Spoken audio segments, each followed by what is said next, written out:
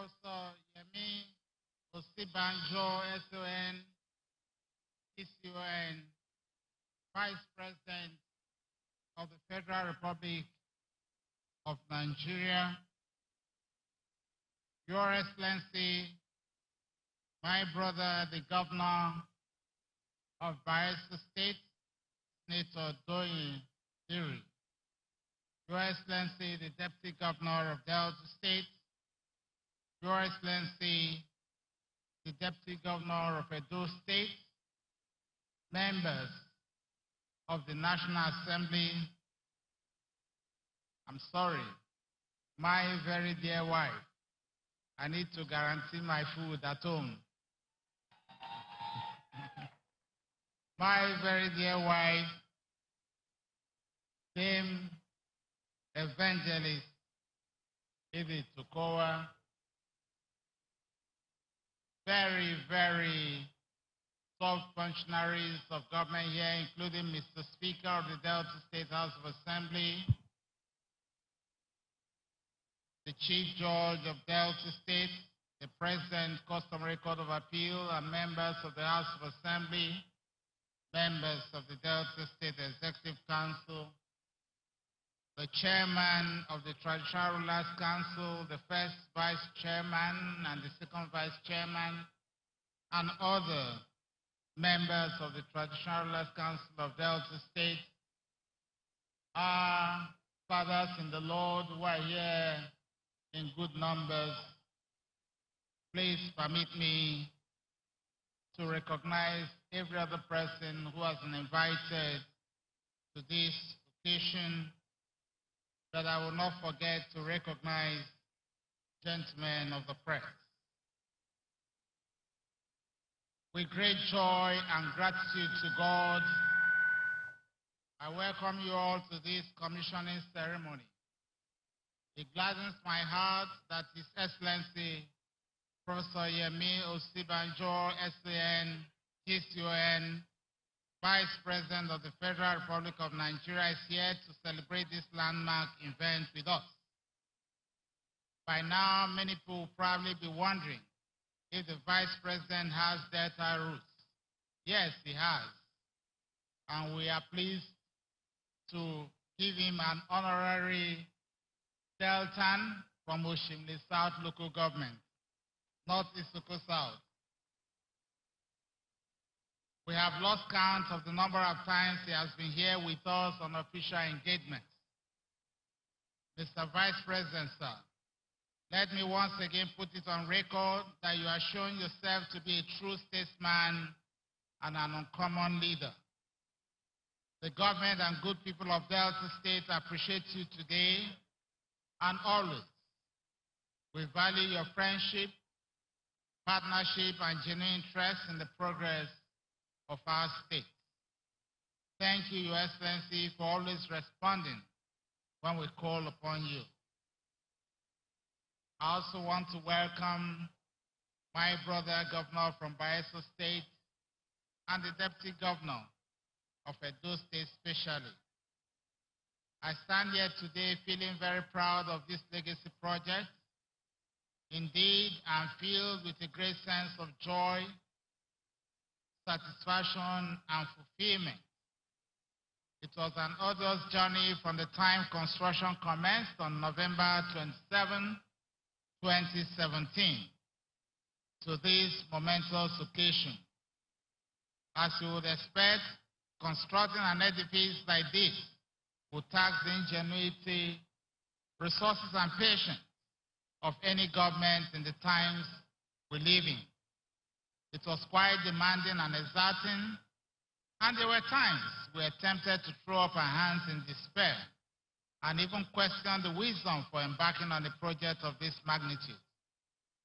The turbulence that has plagued the economy since 2017 was worsened with the outbreak of the COVID-19 pandemic, causing major financial disruptions during the construction process. However, we persevered and withered the storm fully persuaded of the huge benefits agreeable to the state once the structure was completed. With the ministries in one central location, the state government will be saving hundreds of millions of naira that was spent annually in renting offices all over the capital city. Coordination and synergy among ministries, departments, and agencies will be enhanced, leading to higher morale, better time management, efficiency, and greater productivity.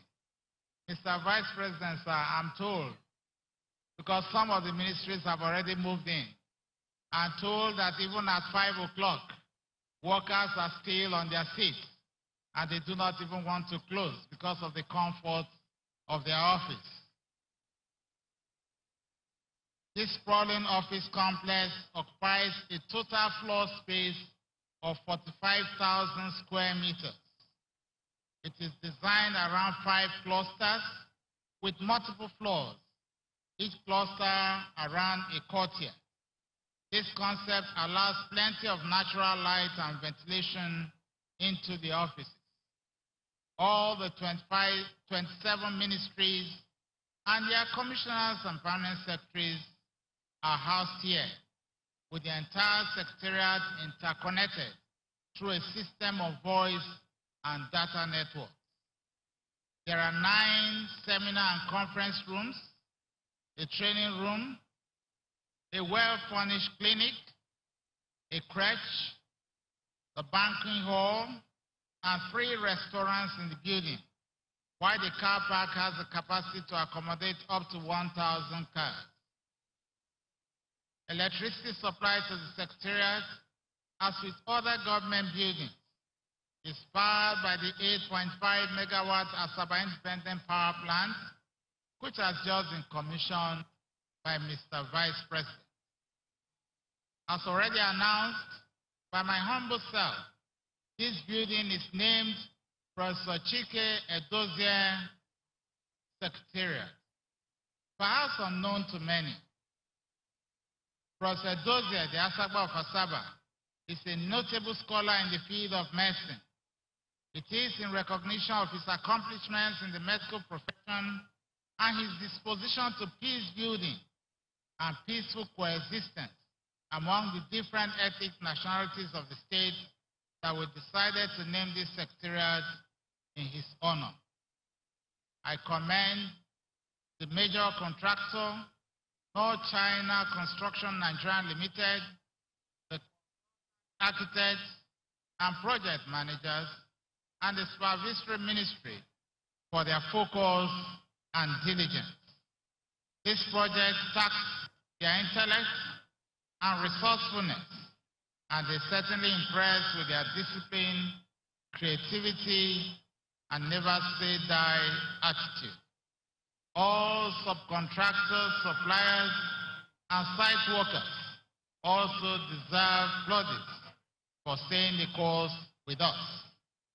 Let me also extend my appreciation to the Office Allocation Committee for the excellent work they did in ensuring that the timeline for the commencement of government business in this secretariat was met. The ministries began operating from here last week, some of the ministries, because we needed to give time to do a final cleanup. And all other ministries will start to move in by tomorrow after this commissioning. The ministries began operating from here last week, and from information available to me, the workers are thrilled with their new work environment. Indeed, it is a new day for the entire public service in Delta State.